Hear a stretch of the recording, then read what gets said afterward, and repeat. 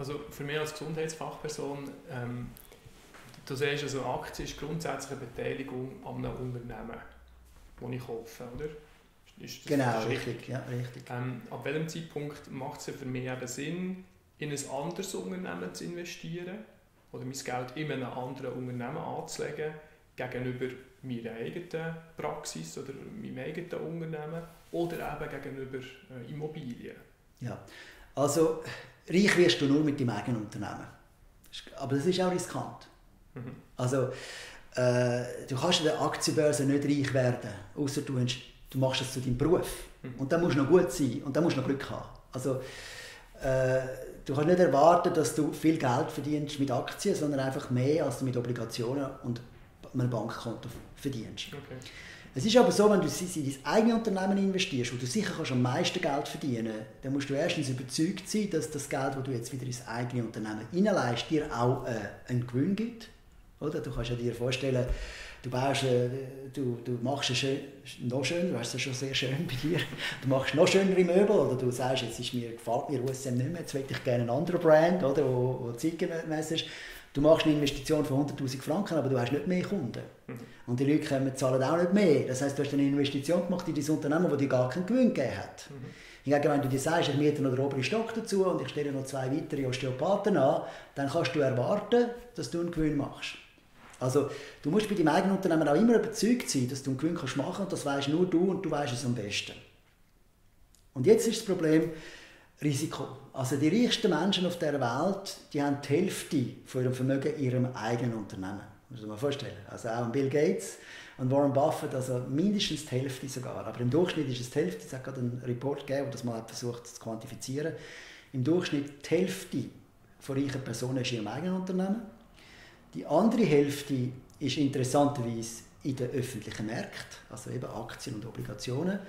Und also nicht, nicht äh, die Hälfte von der anderen Hälfte, also ein Viertel ja. ist, ist, genau. Und ein weiterer Viertel haben sie offenbar, gemäß dieser Studie, ist in der New York Times veröffentlicht worden, haben sie es in Bar. Also auch du musst immer eine Barreserve haben. Also ich sage immer, bevor du anfängst zu investieren, solltest du können ein Jahr lang leben mit, mit deinem Geld.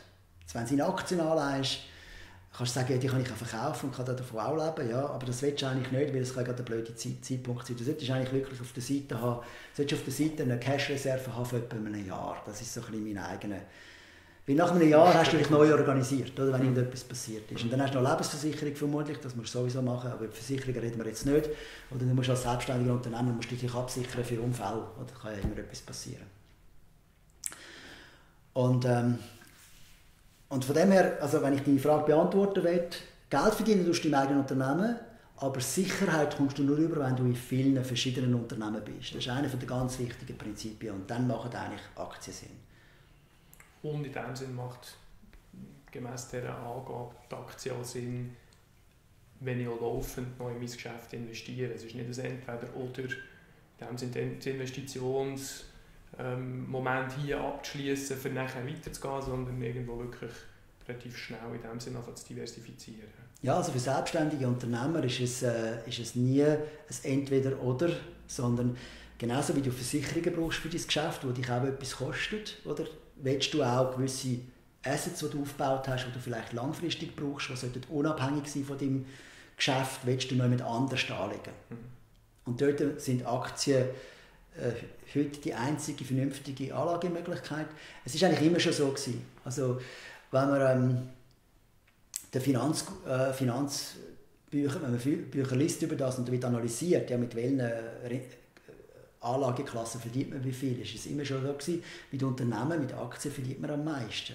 Aber, muss man sagen, man hat ein Risiko, es schwankt. Oder? Und, und jede einzelne Aktie ist gefährlich. Und erst dann, wenn man verschiedene Aktien hat, hat man eine gewisse Sicherheit.